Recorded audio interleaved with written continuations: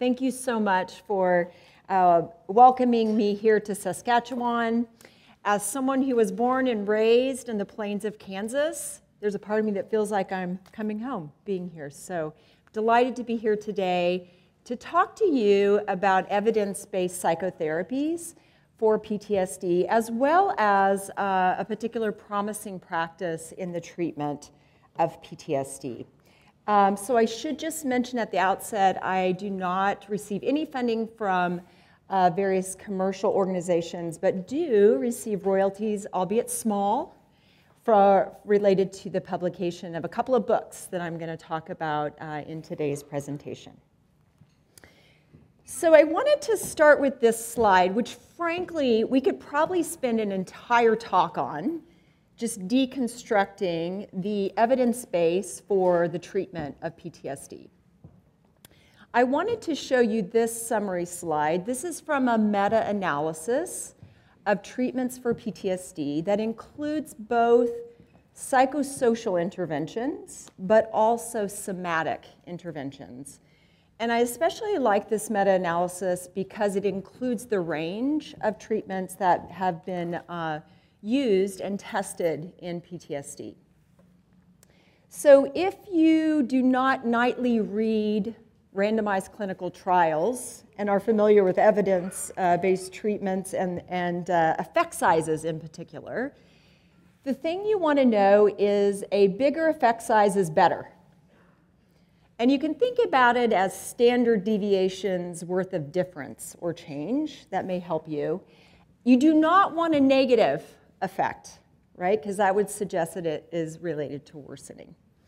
So one of the first things I want to say that actually was alluded to in our, our prior speaker's talk is that the, actually there's fairly good news about the treatment of PTSD, especially relative to other mental health conditions. So for example, um, in depression, the kind of average effect size for psychotherapy is about 0.87. For drugs, about 0.3. So in, if you look just at the bars here, I mean, you're seeing quite large effects for improvements in PTSD. And we'll talk about these improvements in PTSD are also associated with improvements in other comorbid mental health conditions. So people's anxiety, their depression, their substance use, their functioning, et cetera. The other thing you probably will notice, and is also reflected in all the treatment guidelines that have been created to tell us a bit about how we should be practicing in the treatment of PTSD, is that psychotherapy is the frontline recommended treatment class for PTSD. And there are various ways of, of doing psychotherapy that have been shown to be efficacious. But relative to the somatic treatments, there is a relative advantage for these frontline treatments. Um, and specifically within the broader class of psychotherapies for PTSD, the trauma-focused interventions are the treatments that are often the, the most recommended in terms of the treatment of PTSD. And when we say trauma-focused treatment, what we mean is systematically taking people back and focusing on the trauma to help them move forward. And there are, there's different emphases depending on which package, treatment package that you choose. But those treatments that are processing the trauma are relatively more efficacious in the treatment of PTSD. So the green bars here are the psychosocial treatments. And so in this meta-analysis, meta-analyses, they actually broke down the cognitive behavioral treatments to those uh, that are primarily cognitive, to those that include the cognitive, so looking at people's appraisals, but also are focused on their behaviors and having them face or confront those people, places, situations that are reminiscent of their traumatic experiences. Uh, then treatments that are primarily exposure-based, like prolonged exposure would probably be the most well-known of those treatments that include both imaginal and in vivo exposure components. A treatment that's less known but is often the control condition in these trauma-focused treatments is Meichenbaum's uh, skills focus or stress inoculation training, which is much, more on giving people skills, cognitive behavioral skills, uh, to improve coping with their symptoms, but are, is not necessarily taking them back to focus on their trauma. EMDR is also efficacious in the treatment of PTSD, not a question about that. Perhaps more of a question about what's the mechanism of action in terms of inducing those changes. And then you can see there are other psychosocial treatments like psychodynamic psychotherapy that has some efficacy, some efficacy for hypnotherapy, self-help. Uh, you'll notice the group effect is relatively small, and we'll talk a little bit more about that um, in terms of uh, the more general process-oriented groups do not seem to lead to a lot of improvements in PTSD. And even the trauma-focused interventions delivered in a group do not seem to be as efficacious as individual therapy. Biofeedback here has a negative effect. Um, there, I should say there are a few trials only, and this is peripheral uh, biofeedback, so uh, focused on skin conductance and heart rate. Um, so we can talk a little bit about the advances that have been made in terms of neurobiofeedback um, in uh, for example. Uh, acupuncture as a, a, potential complementary strategy is showing some promise in terms of improvements in PTSD symptoms. There are some questions about um, the expectancy effects because it's really hard to do sham acupuncture these days in terms of people getting acupuncture but really not getting acupuncture. So finding kind of the, the control condition.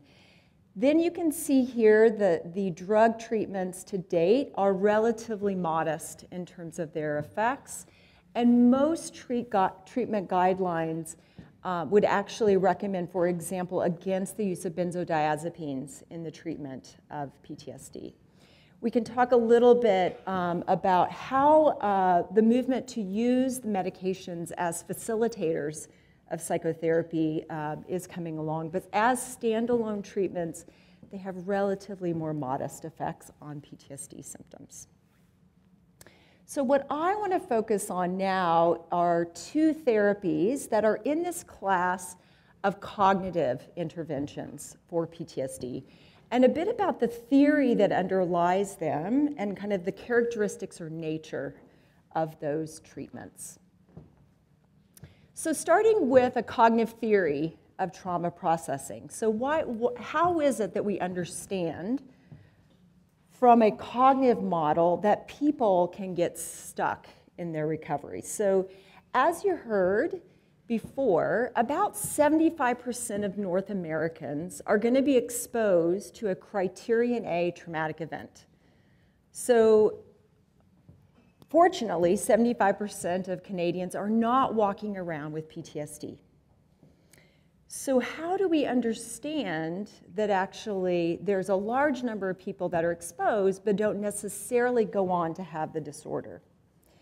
And I've summarized here three different studies to, to kind of show this quote unquote natural recovery that occurs uh, post traumatization. So in Barbara Rothbaum's study, which is represented by the blue bars, they followed penetrative sexual assault victims or rape victims from one week up to 12 weeks.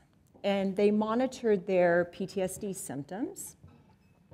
And as you'll see, at first assessment, 94% of them would have met criteria for PTSD, but for that one month, one month uh, criteria in the disorder.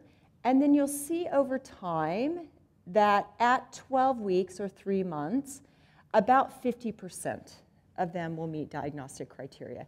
And again, as reviewed earlier this morning, rape is one of the traumas that is most likely to lead to PTSD. You can see here in the yellow bars, this is Dave, Dave Riggs' study where they studied a more heterogeneous sample of people who had been physically assaulted but not sexually assaulted.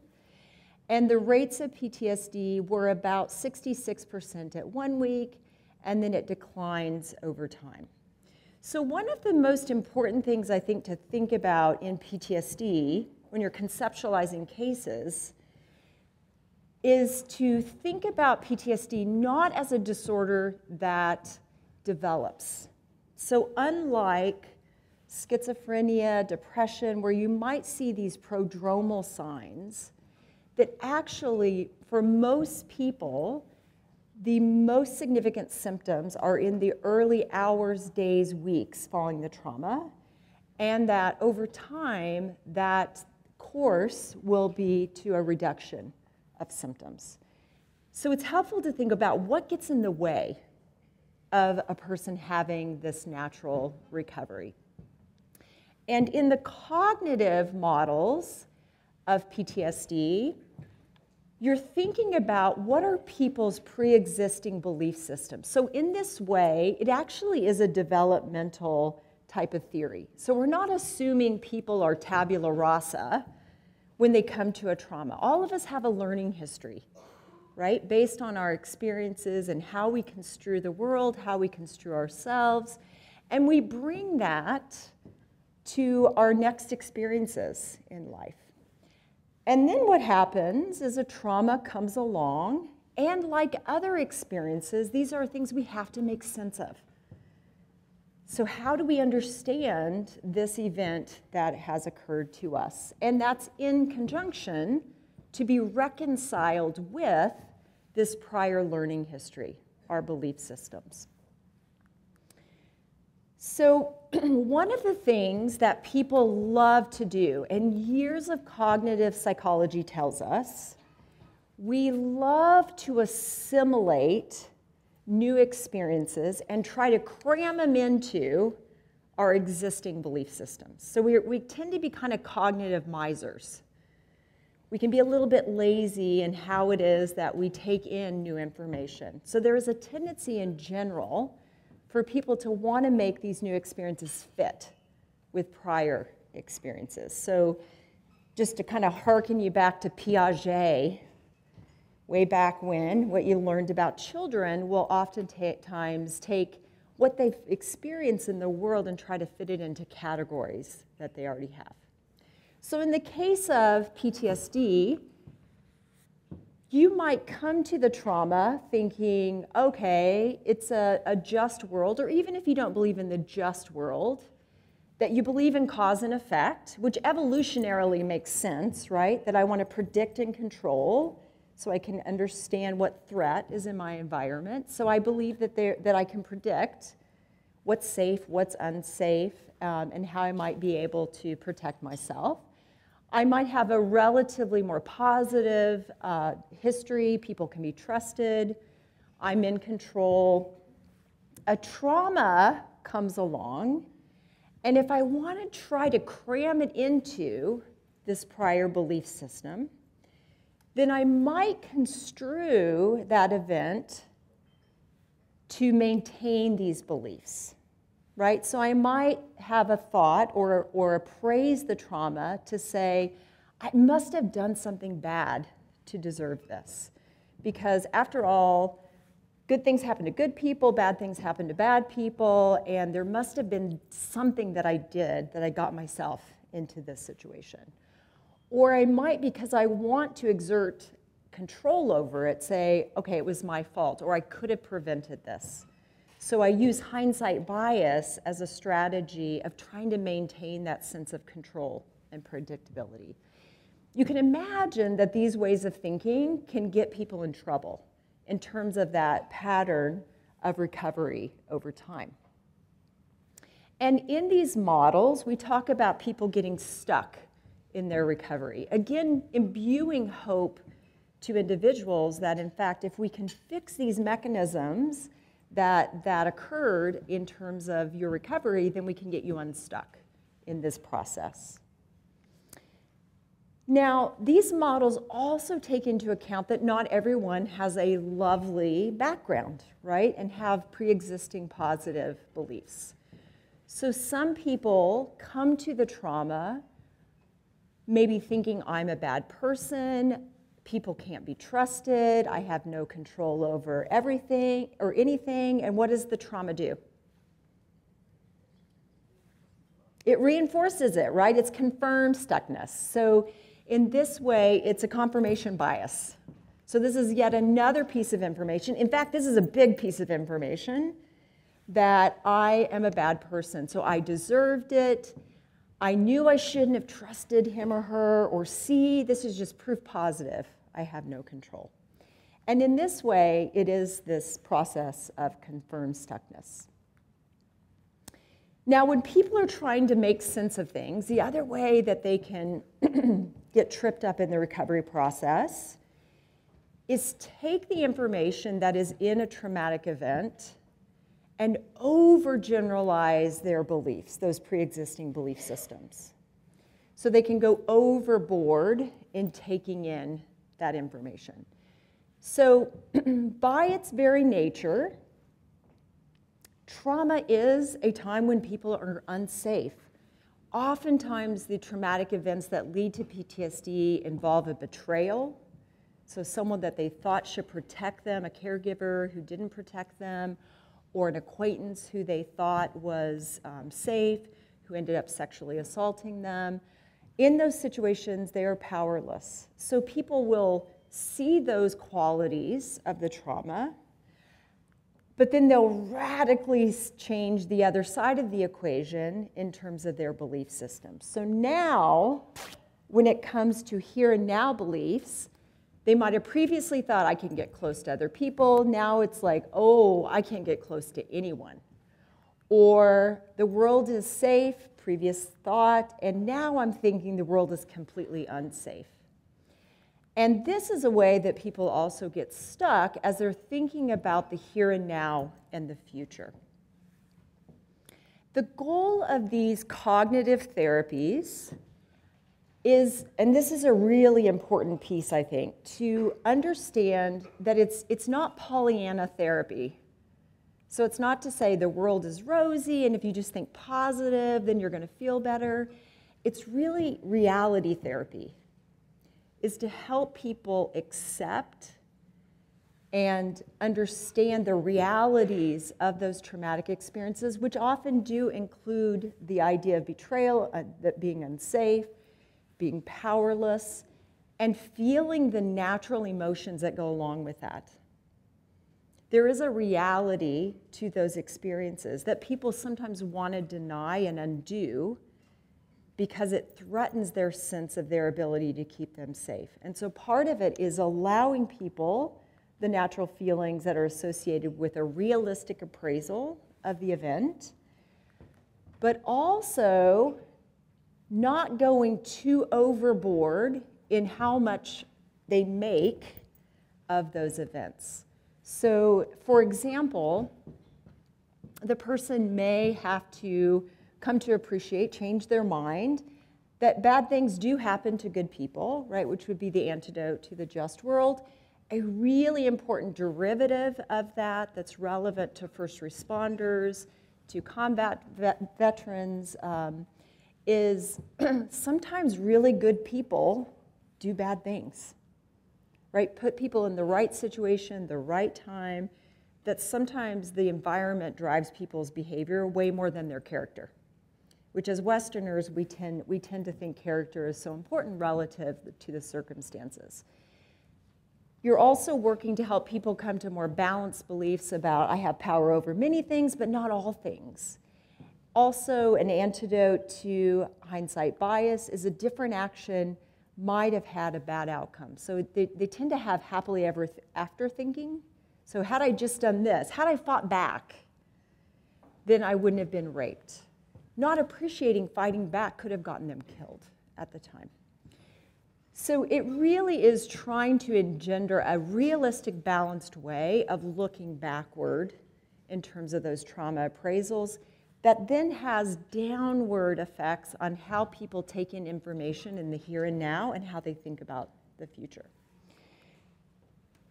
So that leads us to this graphic. So imagine you all decide to have a change of career and you're going to become ecologist and you're going to clean up this water source. Where would you start if you wanted to be as efficient as possible in cleaning up the water that is starting at the, at the top and flowing down to the bottom? at the top. And why would you do that? The source, thank you. And you would, in this way, go backward to go forward. So while I talked about all of these cognitive disruptions that can happen with traumatization, and other scholars have talked about, in these therapies, what makes them trauma focused is that you are going back to look at the appraisals of how people took in that information about the trauma and their experiences in order to have downstream effects on how they think about the here and now and how they think about the future. Now, a couple of things about these treatments is that the cognitive treatments for PTSD do tend to be cooler versus the exposure treatments being hotter and more immersive. That doesn't mean there isn't affect or, or emotional processing that needs to occur. Because sometimes people, once they really see the event for what it is, there's a lot of natural affect that needs to run its course.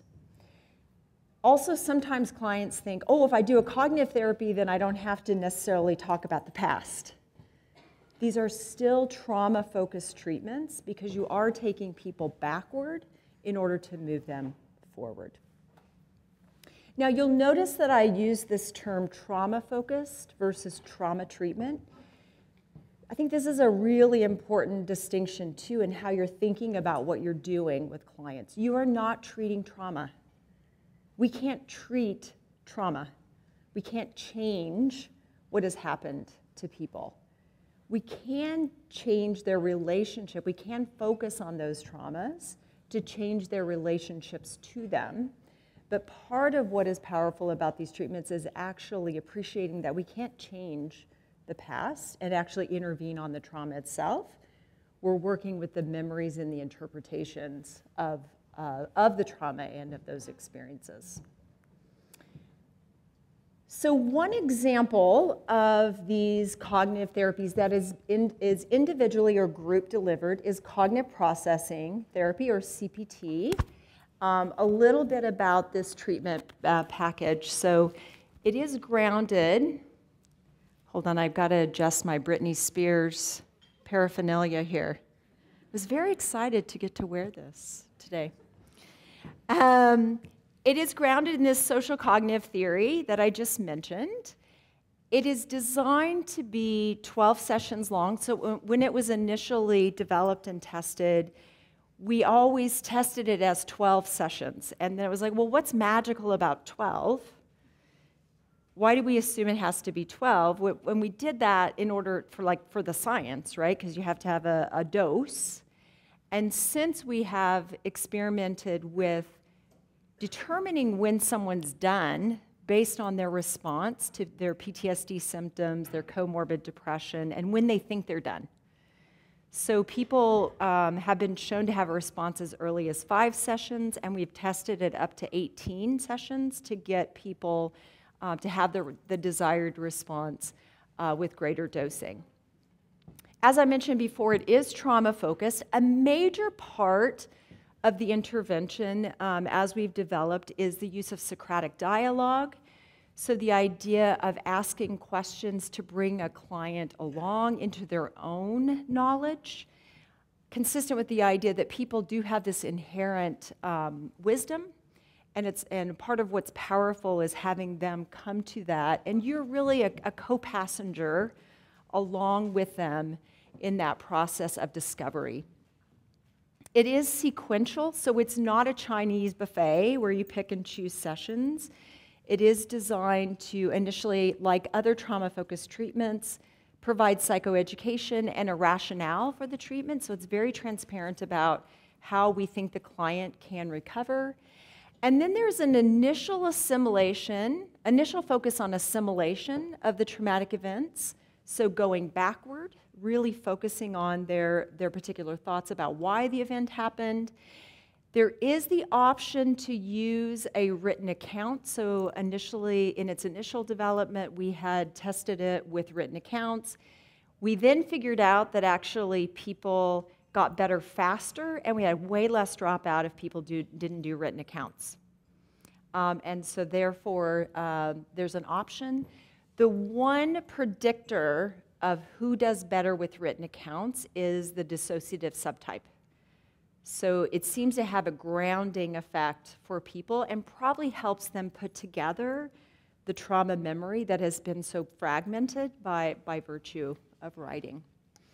And then in the treatment, there's a later focus on those over accommodated beliefs or those over generalized beliefs after you've done as much as you can to clean up the historical trauma appraisals. Um, as I said before, there is the original version that um, included written accounts, and that has been tested in group, individual, and their combination. And then CPT, uh, which we refer to now without the written accounts based on the, the dismantling trials, that has been tested in individual and group formats. As of now, there are 23 randomized controlled trials in a range of traumatized individuals with PTSD. So it's been, uh, for example, it's been tested in the Congo with women who are currently under threat of civil war um, and who were not literate. It was delivered by high school educated paraprofessionals. It's been tested with the military. It's been tested um, in battered women's shelters. So it's been tested in a range of traumatized individuals with PTSD. Um, and with P PTSD having a range of comorbidities alongside the disorder. Across these trials, it shows significant improvements in PTSD and the likely co-travelers with PTSD, so depression, anxiety, guilt, uh, functioning, and we have tested the effects five to 10 years later. So we followed people uh, to see if in fact the effects sustained. And consistent with these, these treatments for PTSD that are going after the cause and not just symptom management, once you improve people's PTSD, not only do they have a, a sustained remission, but they also, if re exposed, are less likely to get PTSD and are less likely to get exposed. So it says something about really going after what we think are the, uh, the causes of PTSD. There's been one study where we directly compared the individual versus group format. And in that study, it was with US active duty military members, mostly men. The individual treatment outperformed the group format. Um, and consistent with that slide that I showed at the beginning, I think the real issue with group delivery is that it's hard to give a sufficient dose of the intervention to each person in the group because people's traumas are so idiographic and trying to get at those appraisals can be really hard when you're looking for uh, common cognitions in a group. We also now have what are called implementation trials where we're actually taking and training uh, clinicians who are learning the therapy and supporting them in the delivery. Um, in fact, we just completed a trial here in Canada where we had 134 clinicians who learned the therapy and we provided consultation uh, to them, and we found effects similar to the efficacy trials. So when we support these clinicians in actually delivering the treatment, they're finding effects with their patients in frontline practice, similar to what we're finding in our highly controlled, you know, lab delivered with graduate students closely monitored types of studies. Um, just a little bit about now taking it beyond like, does it work? For whom does it work and why might it work are some really interesting questions that are, that are emerging in the psychotherapy literature for PTSD. Um, in general, men and women have similar outcomes if they have civilian traumas. But an interesting pattern in all of the treatments for PTSD is that men generally who have combat military experiences are less responsive to our available treatments. Whether that has to do with a particular kind of trauma or perhaps the healthcare systems in which they're situated and some of the, the um, economic and social implications of changes in, in, their symptoms, I think is an important thing for us to continue to look at. Um, there have been some efforts to look at participant ethnicity and race. There are no differences in the treatment outcome. Um, in this case, it was an American sample. The African American women were more likely to drop out, but interesting, um, the African American women seemed to have a, a response that was earlier in the treatment, which might account for them dropping out earlier in the treatment. Uh, there's a little bit of research on the era of veterans. Uh, so OEF, OIF, meaning Iraq, Afghanistan, Stan, American veterans.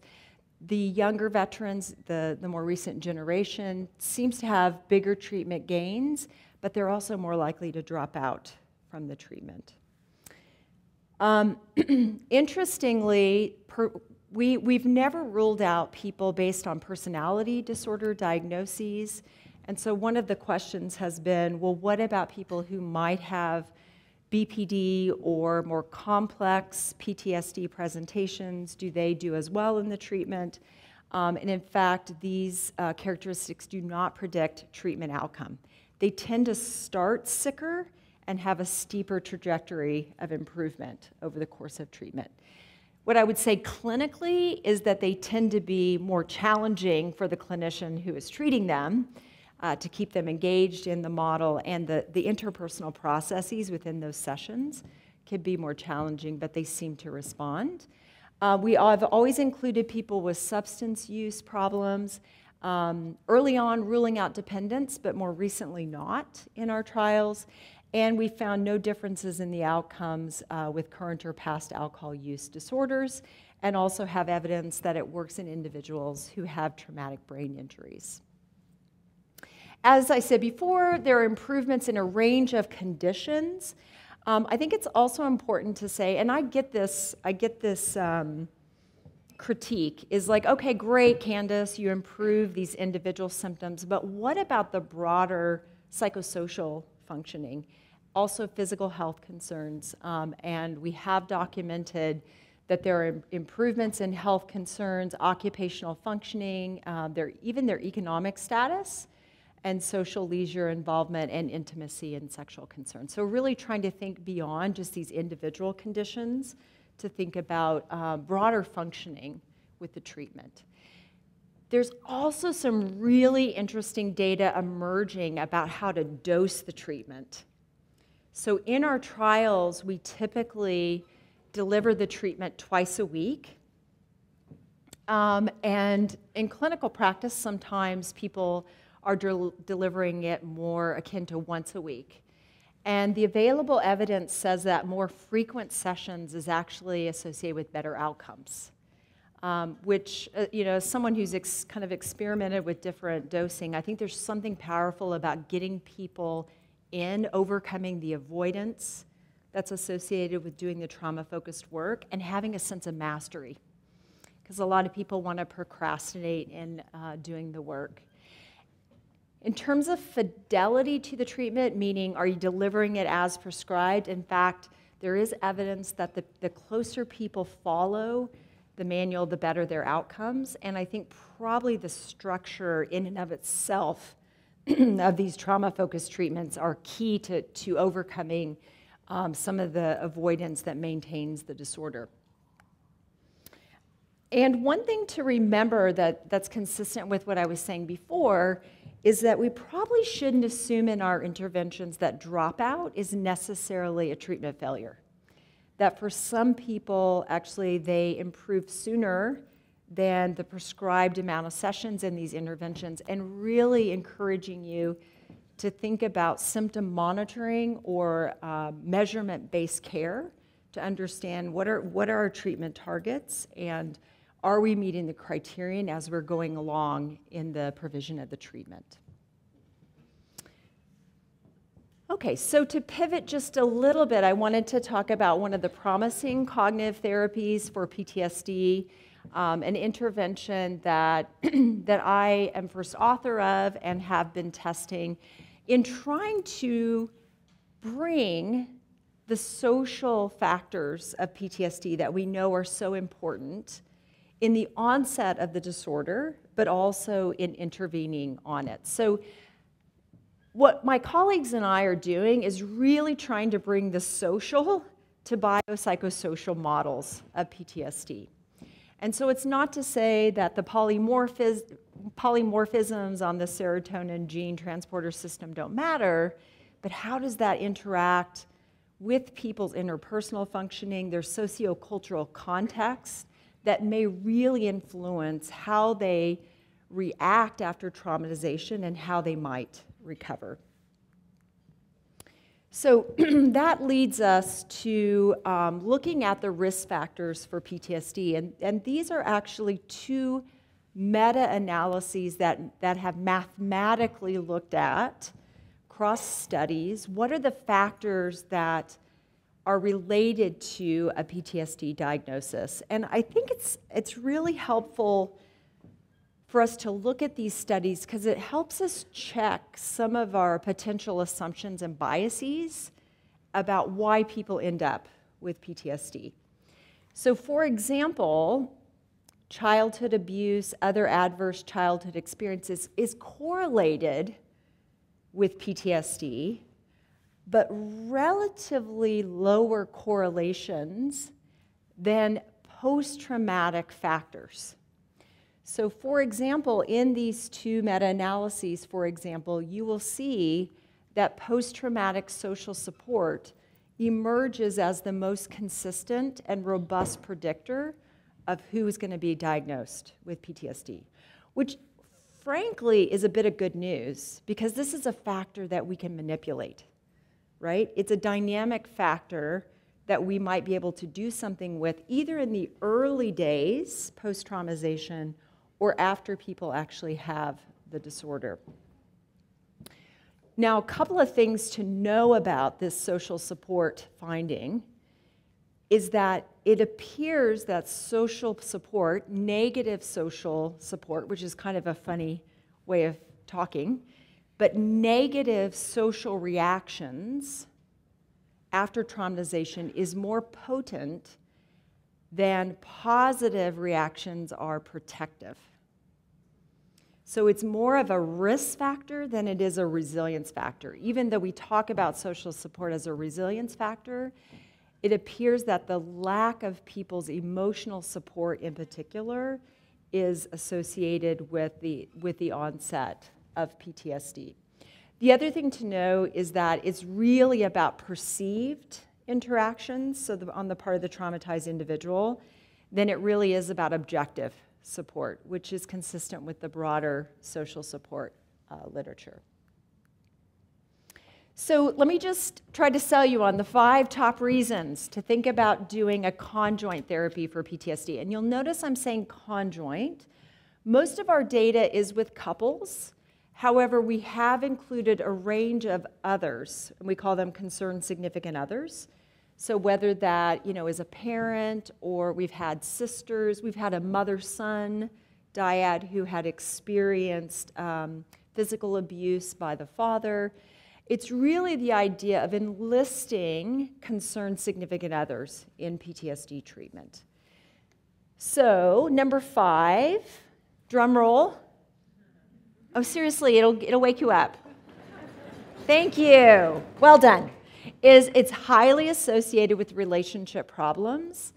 Um, so, and, and that makes sense, right? So trauma occurs in an interpersonal context, whether it's at the hands of another person or it's simultaneously experienced at a community level. It's a very interpersonal phenomenon and therefore not a shock that people will then have interpersonal problems. And someone having PTSD symptoms and being in relation to them can be very hard on the relationship. So there's the, and data supports this. There's a bidirectional relationship between the symptoms of the disorder and relationship problems. Now, while we have these individual therapies that work and they're good, not, they're not a panacea, right? So there, there are partial responses to them. Uh, the, the data suggests that about 75% of people who complete the treatments will, will have a remission in their diagnosis, but only about 50% of people who even start them will have a remission, right? Once you account for dropouts. So we have to figure out how to innovate uh, the treatments to help more people. The other thing to think about is that the existing therapies don't improve intimate relationship functioning. So I mentioned, you know, these broader effects on occupational functioning and social leisure and their, their broader social context. It does not improve intimate relationship functioning. So while we might think, oh, if I fix the PTSD, it'll have these trickle down effects, um, that has not been shown to be true in the literature. The other really important thing for you to be thinking about as you're treating individuals with PTSD is that the interpersonal milieu in which they are existing while they are doing these noxious treatments is really important. So if people are in family environments or interpersonal environments that are not supportive, where there's hostility, they're not going to respond as well to your individual interventions. So trying to do at least something to make more fertile soil for, even if you're going to do individual interventions, what can you do to improve um, or mitigate some of those negative uh, characteristics to improve the potency and the engagement uh, in your intervention? And then finally, pragmatically, how can you get multiple outcomes from a single therapy. So in this case, how can we improve individual PTSD, comorbid conditions, but also improve the relationship and potentially the partner who is taking part in the therapy? Now, a really helpful thing to think about is when you are doing couple family therapy, we tend to think about it as an adjunctive intervention right? So we're seeing someone in individual treatment for depression or uh, some GAD, and they, we know they have relationship problems, so we refer them to someone to do couple therapy or family therapy. That's kind of typically how we think about couple family models and couple family therapy. And that's consistent with this quadrant of thinking, right? So our target isn't necessarily to improve an individual disorder, but we're trying to improve the relationship.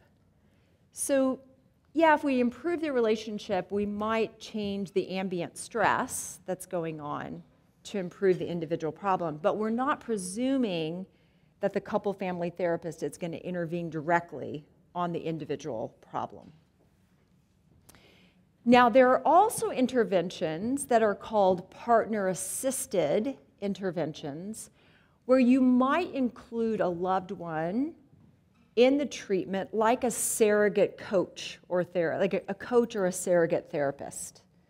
So, um, the most common example of this in the literature is someone who has panic disorder and agoraphobia. And you bring the, the partner in and you're trying to coach them about how to help with the exposures in having people go out and um, go outside of the house. Now, one thing to think about with these partner assisted interventions is that they're okay and may actually be better than individual treatment in some studies if the relationship is healthy. But the minute it's not, then you can play into some of the power dynamics and also create an or create an imbalance that can make actually the partner assisted intervention problematic in terms of the delivery of the individual intervention um, and create family level problems.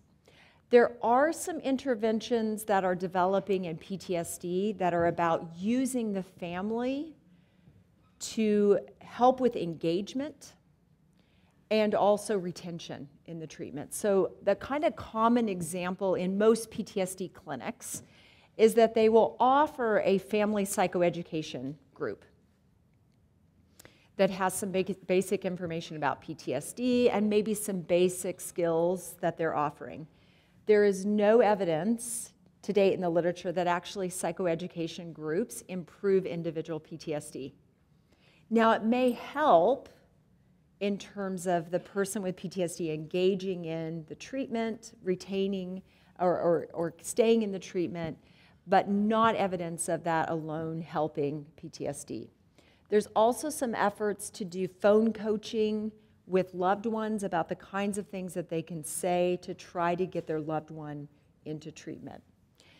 There's this quadrant of interventions that are called disorder specific family therapies that are therapies that have been designed to not only try to improve the relationship, but are simultaneously targeting the individual problem. So, in the areas of substance use, in the areas of depression, there are some, some interventions that have actually been shown to be better than individual in terms of maintaining the gains, but also getting relationship effects. And CBCT for PTSD is part of this class of interventions. So, in this way, it is a standalone treatment. It's not an add on, it's a, it's a frontline treatment for PTSD and the enhancement of intimate relationships. We do talk about the trauma, but consistent with these cognitive models at a 30,000 foot view and more about how do you think about what happened. Also, looking at loved ones' own trauma appraisals. Sometimes they have very problematic ways of thinking about the trauma that you also need to address. So, for example, the, the parent that says, Oh my God, why did you go to the bar alone? Right? So, try, trying again to deal with their own distress, but inadvertently sending this very invalidating message uh, to their loved one. It is designed to be 15 sessions. The sessions are designed to be 75 minutes lo uh, long. We've tested it with kind of the typical inclusion exclusion criteria for PTSD, trying to be as inclusive as possible. Uh, we have more data on partners where there or uh, couples where one person has PTSD, but we do have data where both people have PTSD in the couple. The only couples that we exclude are those couples where there's severe violence. We allow more minor uh, violence, but target it in the intervention. And they have to commit to at least the 15 sessions of therapy, even if they're thinking of ending the relationship. Uh, just quickly, there are three phases. Um, the first phase is really about why are you here doing this intervention together? how does PTSD exist as a relational disorder? So, externalizing the disorder out of the, the identified patient and putting it between them and talking about how PTSD lives in relationships. So, how it might cause people not to sleep in the same bed together, how it might uh, relate to one partner accommodating the symptoms by running a lot of interference to try to, to decrease the distress for the person with the disorder, and also conflict management. I would say if you're practicing individual therapy, whatever individual therapy you might be practicing for PTSD, the content in these first two sessions may be highly relevant to use if you wanted to bring a loved one in just to give them some frame and understanding of the treatment that you're doing and to try to decrease the most negative behaviors that are going on in the relationship to try to improve your individual treatment. Phase two is largely behavioral, where we're trying to improve communication, but we're also trying to overcome the avoidance that maintains the disorder. So we're systematically encouraging approach assignments where we're getting people to go out and face those trauma related cues and activities that are simultaneously improving the relationship. So going for dinner or going to family activities. So trying to get a twofer, if you will. And then the third phase is really where the trauma processing occurs. So, where we're enlisting the dyad to actually work together on cognitions that either of them may have that maintain the disorder or is problematic about the trauma appraisal. So, just very briefly, if you're interested, we've tested it um, in five uncontrolled studies, some interesting um, delivery questions. So, one of them is we delivered the entire uh, phases one and two in a retreat format. So over a Friday night, a Saturday, and a Sunday morning with shockingly good effects. So there may be something about mass dosing uh, the intervention. We have also tested it alongside MDMA administration or ecstasy, Molly uh, on the street to try to facilitate um, the effects of the treatment, giving it to both members of the dyad. And uh, we have also tested it against prolonged exposure, which is a well established individual therapy for PTSD, uh, showing superior effects in terms of the PTSD symptoms, but also relationship functioning. Um, and then, in the interest of time, I'll just say that we are finding broader outcomes in terms of parenting. So, in terms of people's efficacy and satisfaction in parenting, also emotion regulation, emotional aggression, post traumatic growth, which was mentioned earlier. Uh, one, some of the uh, kind of interesting things have to do with moderators. So, sometimes people would say, oh, this would be a great treatment if I have a distressed couple um, and in fact, the treatment seems to work whether or not the couple is in distress or not.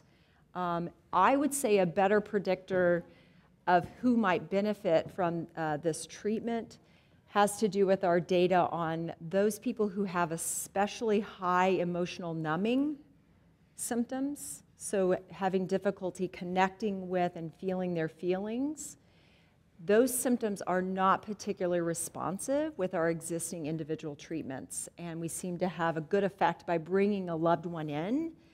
Uh, by evoking more emotion. There's nothing like having your significant other in the office with you to be more evocative in terms of emotions. Um, and the other case of um, presentation that I think you might think about this intervention is in relationships where there's someone who's highly accommodating. So you have a partner who is doing all the driving, let's say, for example, someone who's had a motor vehicle accident, and the partner is then driving their loved one around.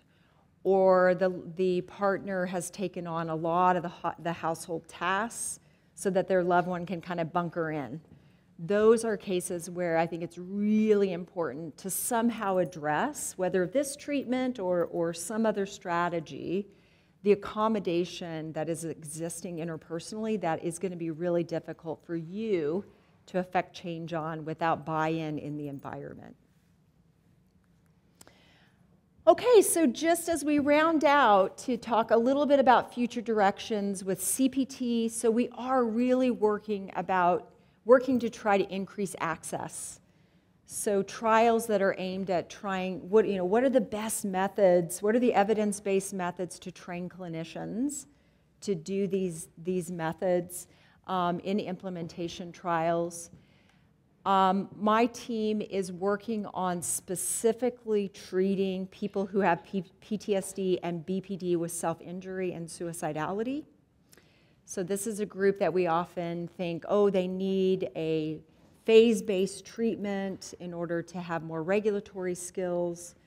We're actually working to take them immediately to do a trauma-focused treatment and simultaneously address the suicidality and potential self-harm alongside the trauma-focused treatment instead of staging it. Um, because the evidence is pretty clear that DBT does not improve PTSD, but PTSD treatment improves the outcomes that we often are thinking about in terms of DBT. Um, there's also some efforts afoot to do essentially camps, CPT camps. So bringing people in for mass dosing so they get therapy every day in an intensive format. In fact, there's a really interesting uh, podcast about this type of delivery that was done by This American Life uh, by a journalist who underwent CPT and then nine months later actually developed a, a podcast about her experiences and lets you into some of her therapy sessions and her musings about what it was like to do the treatment. In terms of CBCT for PTSD, we currently are testing a combination of the treatment plus parent management for those people, those couples who have a child to see if we can get broader family effects. There's a very large trial going on right now in the USVA where we're taking it to, into people's homes and seeing if we can get the same effects by delivering it via video versus face to face. We are also developing an online coached version of the intervention, so taking it right to the consumer uh, for individuals who may not otherwise be willing to come in for treatment because of their geographical dispersion or stigma or just don't want to sit and talk with a therapist. Um, so we're trying to uh, develop that. And we're interested in uh, more systematically testing this idea of it really truly being a conjoint intervention, so not just intimate couples. Uh, we are ramping up to do a randomized controlled trial of the MDMA, the facilitation because um, that first trial was not with a control condition. We've also developed a non-trauma focused version of the intervention. So if we just talk about here and now thoughts that might be related to their relationship and related to the PTSD, can we get the same effects for those people who don't want to go back and talk about the trauma? Um, and then finally, a, a, more aspirational trial that we're headed toward is really trying to account for patient preference in treatment. So a lot of our trials, people are, people are randomized, right, which is the part of the power of the methodology, but we know it's really clear in this, uh, in psychotherapy literature in general, if people get randomized to the condition they want, they have better outcomes. Surprise, right? we come around and tell you all what you already know. Um, so there are actually designs where you can allow people to choose or say they won't do certain interventions to be able to then match preference uh, with the condition that they receive.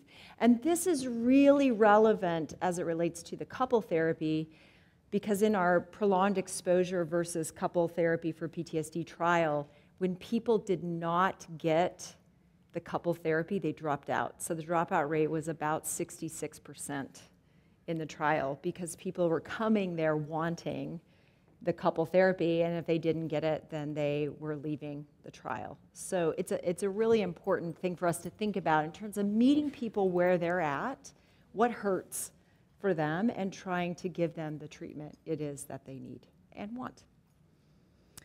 So with that, I think I'm pretty close to on time for questions and answers.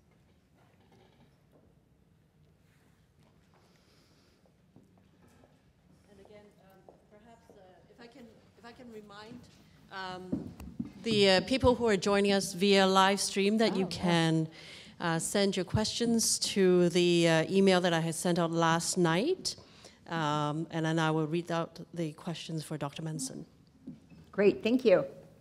Yes. Thanks for coming and for the presentation. I was just wondering if you could speak a little bit about the training um, for both types of therapy in yeah. terms of what's involved and length and. Yeah. So um, as of now, we have a standard training um, in each of them. It's two-day workshop, and then um, interestingly, we tested a couple of different ways of helping people post-workshop, and having post-workshop consultation matters to patient outcomes.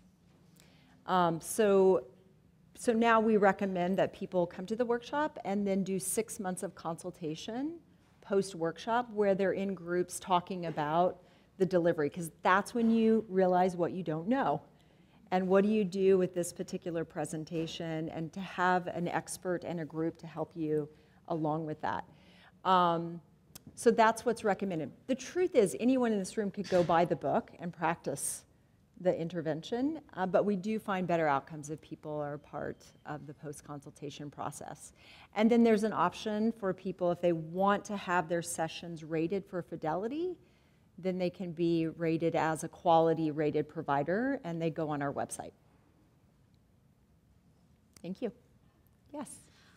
Uh, can you speak a little bit more about the modifications to the CPT protocol when there's comorbid BPD? Yeah, so uh, the question, in case you couldn't hear that, was about what, what we're thinking about in terms of this comorbidity.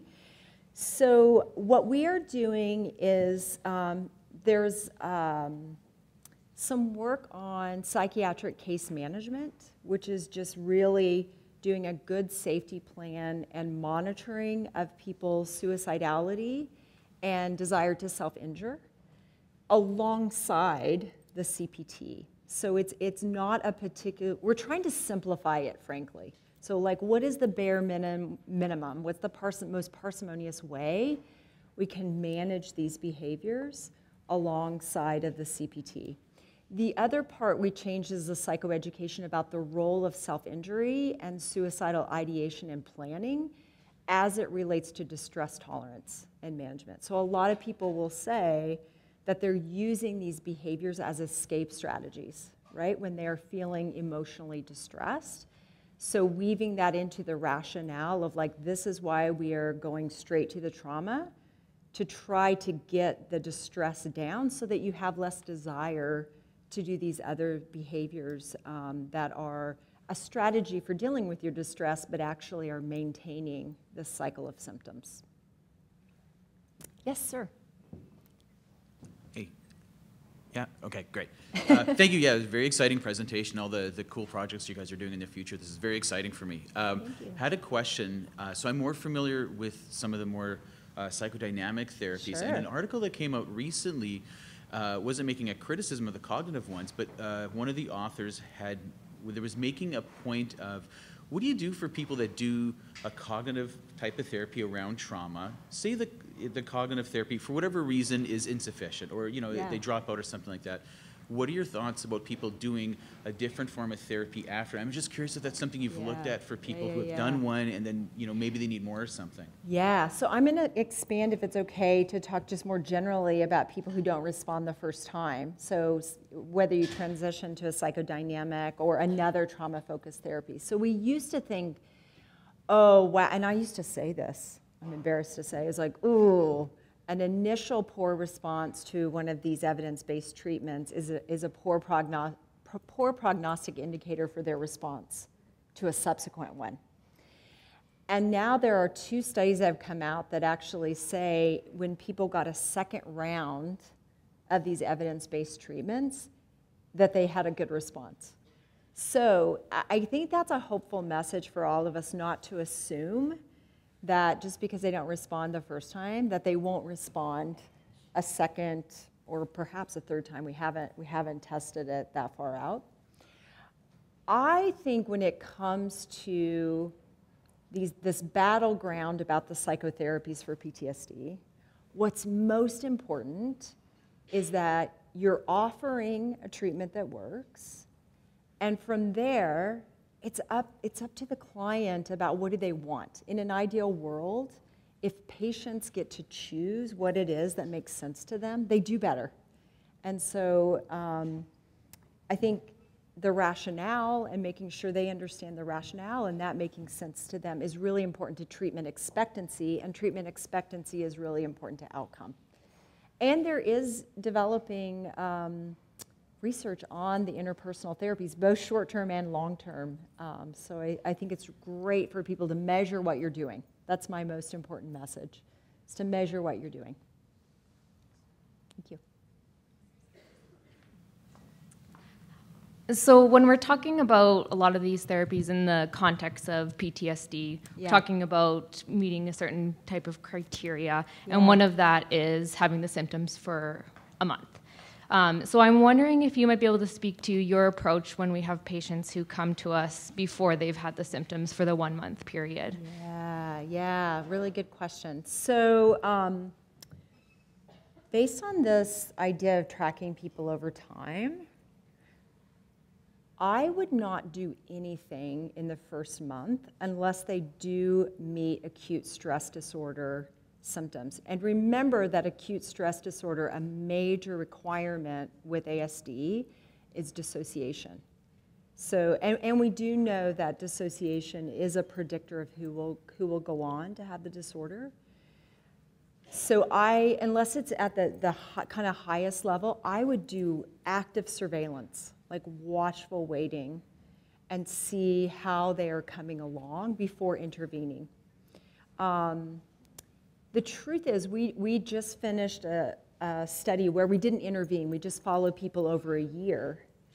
And even after three months, people are still getting better. So I think there's an argument for even a longer period of active surveillance, especially if the client's not really wanting to engage. That's probably the worst case scenario is us forcing people to engage. Which incidentally is, I think, why, why the psychological debriefing studies did not do well and showed iatrogenic effects is because they were forcing people to participate in these group de- debriefing strategies and probably forcing anyone to engage in an early intervention is a bad idea. And that's, it's much more important just to monitor how they're coming along. Yes. Thank you. I just have a question about how you would proceed. I'm seeing a lot more couples where there may not be hmm. physical violence. Hmm. However, there may, may be fairly extreme psychological violence. Yeah. And maybe some narcissistic patterns underneath. And we may have uh, a client who is actually traumatized within the relationship. Yeah, yeah. And so I'm wondering, how do you screen Mm-hmm. uh, treating tho- that type of a scenario, or within a family, if the family is the support member? Yeah. How do you proceed and how do you screen when there's that kind of psychological abuse with the support person? Right, yeah, really good question. So um, we use the conflict tactics scale to determine the more minor versus severe acts, which is a very behaviorally anchored measure. But we also ask about people feeling safe in the relationship. Because the truth is, and, and you're kind of alluding to this, is I might not be able, I might not have to lift a finger and you're scared. Like that's, that might be the best perpetration. Um, so making sure people feel safe as part of it. I think the other piece is in proceeding is do people feel, do people see their aggression, either emotional or physical, as a problem? And if one person doesn't see it as a problem, I wouldn't proceed in doing the couple therapy until, unless there was mutual agreement about that behavior being a target behavior or a targeted outcome of the intervention. Yeah. I'm just curious if you can please go over why, if you think dissociation is a bad idea, um, then like, for example, ketamine is a dissociative and it's shown a lot of promise in treatment. So I'm wondering if you can like explain that a little bit. Yeah. Uh, so is a bad idea. Say more. Um, I'll just do that. Um, well, like you said before the trauma, like dissociation leads to like more symptoms with PTSD or has a higher correlation to later. Yeah. So why do you think that when they're treated with something like ketamine, that it actually is helpful and it showed a lot of promise? Yeah, so I think ketamine is a bit of a paradox because that early research was they actually used ketamine to induce flashbacks in PTSD. And now there's potential for ketamine as a treatment. So again, I'm not a psychopharmacologist, so I should stay in my box. Um, what I read is that there may be dosing differences. I also think um, it, ketamine is not just something that induces dissociation or flashbacks, right? It has other mechanisms of action. So it may be that it also is acting on the depressive symptoms, which is activating for people to then engage in a PTSD treatment. So I don't, I don't see it as only inducing dissociation or flashback, that, that it's probably more nuanced than that in terms of understanding the effects.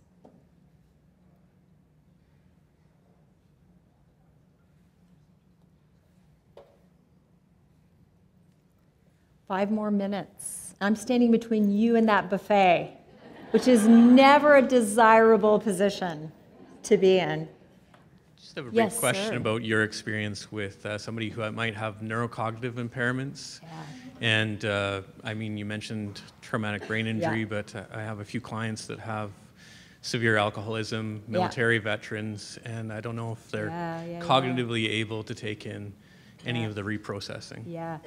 So really, I mean, great question, first of all, because I think a lot of people, either during the traumatic event, have brain injury, or because of some of the behaviors that people may use in coping, substance use, et cetera, um, that they will have comorbid cognitive problems. Um, there is at least one study showing um, that actually people with more severe TBIs did better than those with the mild moderate levels of TBI with CPT. And I think it may have to do um, with the people who have more severe TBI, that the clinicians were much better at appreciating their cognitive problems, using the simplified worksheets in order to, to really make sure the concepts were understandable to them. So, so met them more where they were at. Um, th this is a place where I would also thinking of, think about bringing a loved one into the intervention to help generalize the, the knowledge and the skills outside of the session that may be particularly helpful um, in terms of getting the effects. I, I've treated a number of people. My first trial was with Vietnam veterans with CPT, and a lot of them had cognitive impairments. Um, and I think it's what's really important is just that making the concepts as simple as possible when you're delivering the intervention. Um, that that's really important. We also have tested it down to people who have IQs of 70.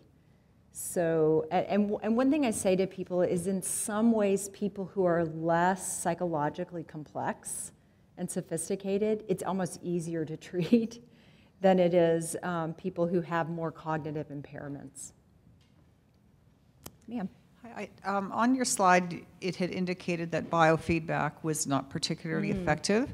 And I, I thought I heard you suggest that neural feedback might Yeah. be a different kettle of fish. Yeah. Did you want to touch on that? Sure.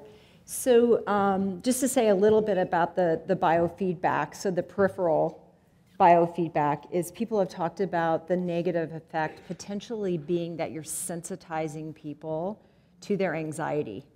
And so that, that actually can heighten people's um, anxiety in general and PTSD symptoms in particular.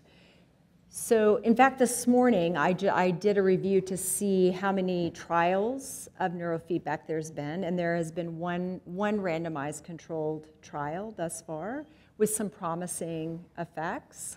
Um, so, I think, and, and there's good effects in ADHD. So, I think there is potentially a place for that. Um, one of the things I think it's interesting in the area is people are experimenting with different um, interfaces. So there's some fMRI feedback where they're actually taking people to their traumas and having people control the, the waves um, instead of just more generally a more diffuse strategy of changing the brain waves. So I, th- I think it'll be interesting to see where that all goes. And I think my major question is how sustained the effects are going to be over time, uh, because it, it really is something. Well, first of all, it seems like you have to have a number of sessions, so it's anywhere between 20 and 40 of these sessions. And then I think the questions are going to be around maintenance dosing. Um, and whether it, it is more similar to the drug trials, where once you take that away, once you remove the drug, you titrate the drug, the effects go away. So I think those are some of the interesting questions that are going to come with regard to neurofeedback.